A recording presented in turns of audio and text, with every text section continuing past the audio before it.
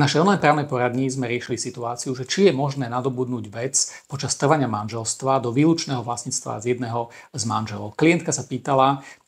to, že má e, peniaze z predaja svojej nehnuteľnosti, ktoré ktorá bola teda v jej výlučnom vlastníctve a chce si kúpiť novú nehnuteľnosť a nechce, aby túto nehnuteľnosť nadobudal aj manžel, a tak Prvá možnosť je, že sa dohodne s manželom a pôjdu k notárovi a spíšu zápisnicu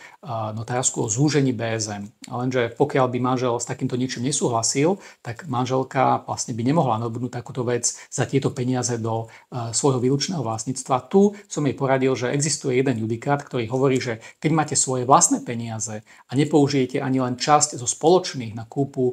nehnuteľnosti alebo aj nejakej hnutelnej veci, tak tieto, táto vec nebude patriť do BSM. Je to samozrejme že riskantné, pretože manžel vždy povie, že nadobudli si to počas trvania manželstva, ale dá sa to a tento judikát sa dá využiť.